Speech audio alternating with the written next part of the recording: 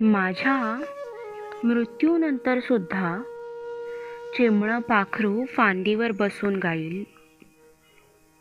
हलकेच पाय न वाजवता त्याचं गाणं ऐकायला कोण जाईल?